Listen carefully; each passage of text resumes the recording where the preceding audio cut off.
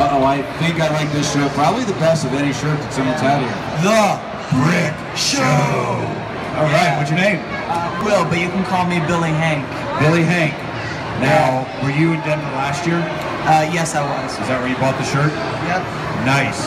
And Very cool. tomorrow, I'm actually going to be wearing that same shirt.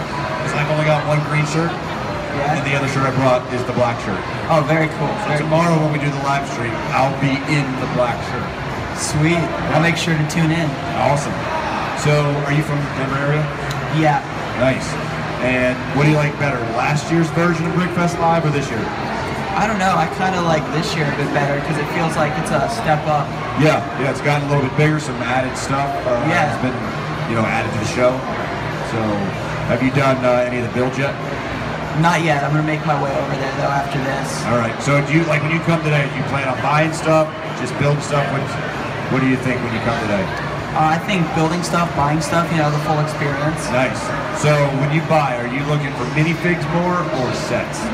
Probably more minifigures. Okay. Trying Yeah. to get some different variety of different stuff, different sets.